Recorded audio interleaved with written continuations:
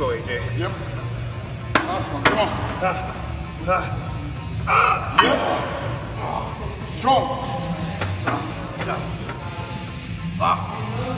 Ah. Ah. Ah. Ah. Come on. Ah, ah, Come on. Ah.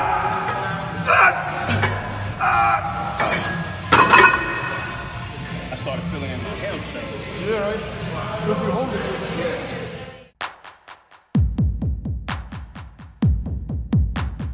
Kamaru, you're the reason that uh, Colby Covington uh, hates Jimmy now.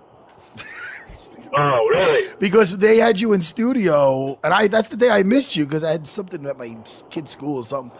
But uh, so then he called in when you were here, and they feel like uh, Chris the producer set him up. No, he thought it was I set really him up. Chris the producer. I think He thought set I up. set him up, but I was like, I didn't. I, I don't book the show. I was because they know he has a beef with. Uh, yeah. He's he's just a pussy. Nobody set him up. Like, don't be a pussy. You we called in for a show. You're doing a, a show. You're preparing for a fight, and this is part of doing the media. Yeah. I just happened to be in studio. We get, basically got double booked that day.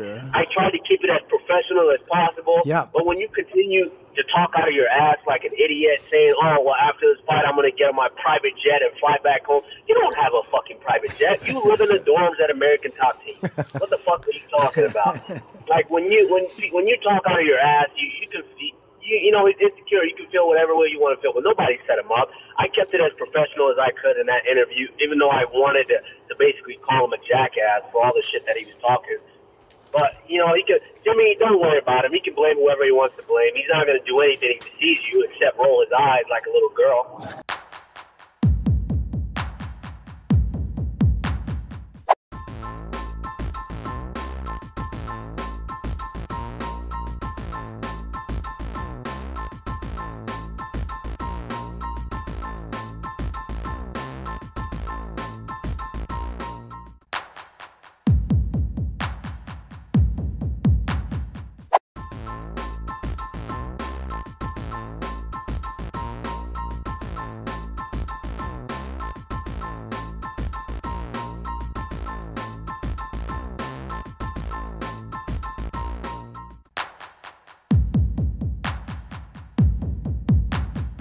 Ready.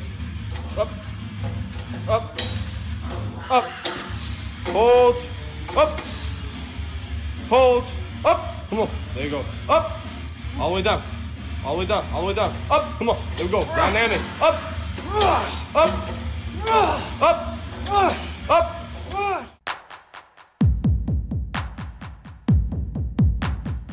Ferguson, I don't know if you saw this, but posted something about you guys running into each other at UFC 181, and his coach told him something that you can't big league a big leaguer. Did you, did you see this post and do you know what he's talking about? I did. I, I've I heard about the post. I, I don't follow anybody on social media like that, so I'm not sure. I'm I'm not sure when he posted it, but yeah, I do. I know what he's talking about. It was uh, UFC 181, and that was a long time ago. I don't like, and uh, I was ready to fight Gilbert Melendez at the time, and he tried to come train at, at a gym that I was already training at, and my coach is asked his coaches to wait or come back when I'm, when our session was done because most likely we'd be fighting each other. So if he took that as disrespect, that's on him. I mean, that's his that's his common sense. You're not going to go watch somebody train that you're going to be fighting potentially. So that's I mean that's on him. So that's what he's talking about. All these, what was that? Like, I think that was four years ago, almost four years ago, UFC Bro, if- 191. if somebody can remember something from four years ago, that's crazy to me. Like I I don't even remember UFC 226. So you, when you when you first heard about this, you actually had to think about what he was talking about.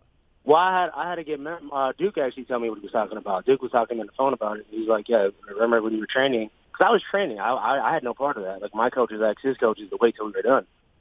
Wow. And uh, if that's a disrespect, then then bring. I, I feel like he's reaching, man. So if he, if he needs if he needs some motivation, use what he's got to use, man. Because I'm, I'm coming.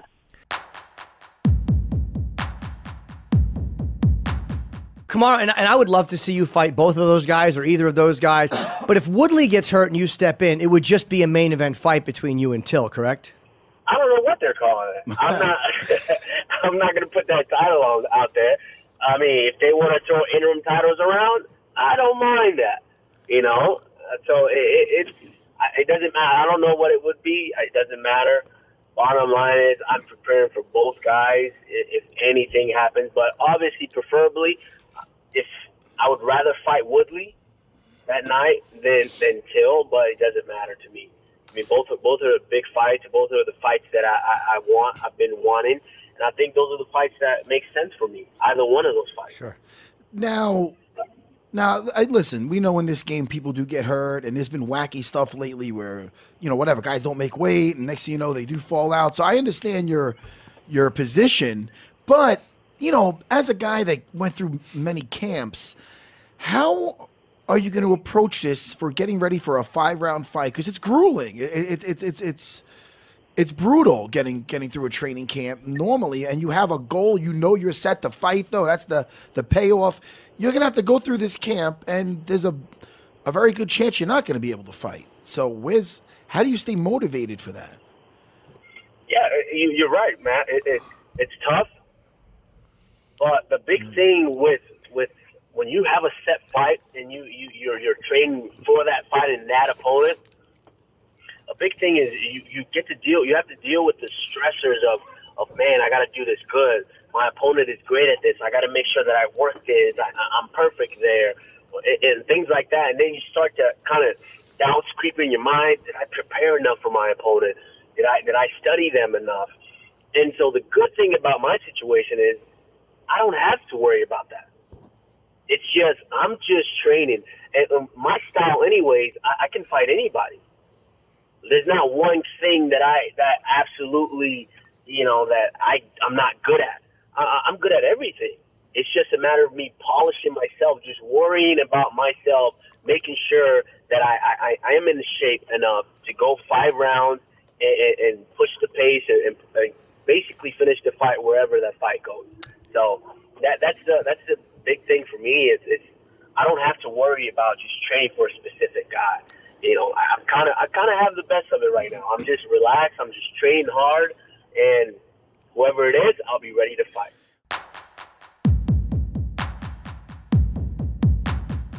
Daniel Cormier now obviously the heavyweight champion of the UFC, as still the light heavyweight champion.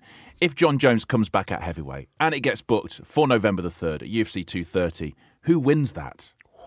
Who wins that? Because we saw Daniel Cormier take out Stipe Miocic and he looked great at heavyweight, Dan. So who wins the third fight with them at a different weight?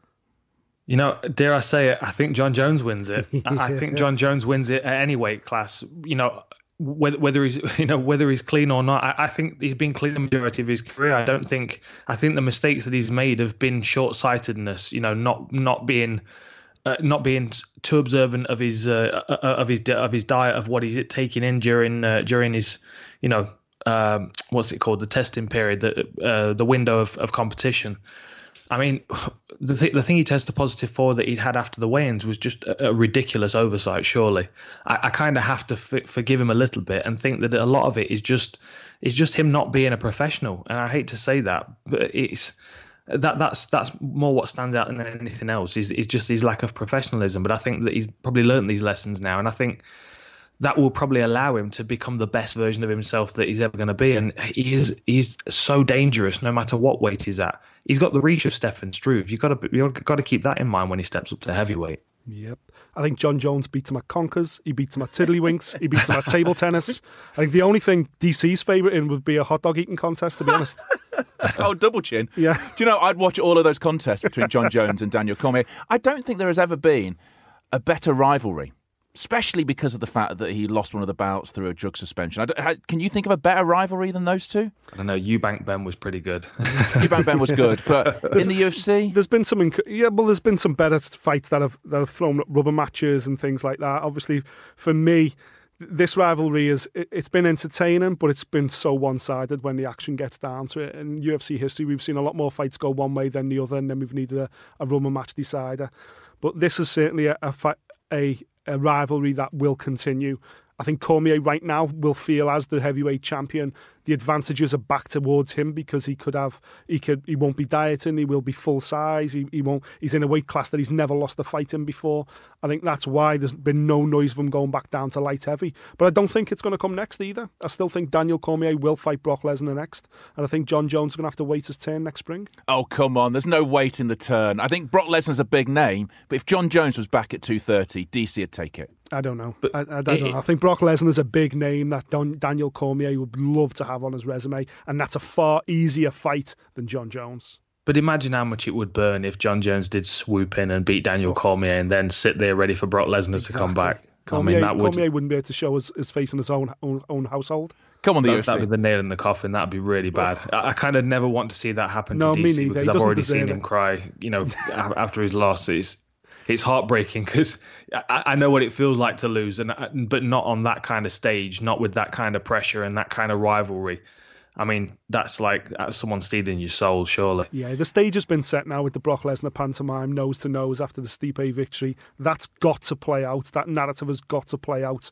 And Daniel Cormier deserves to have his hand raised over a stricken uh, Brock Lesnar. But this fight will happen. It will be Jon Jones next year, and Jon Jones will be the new heavyweight champion.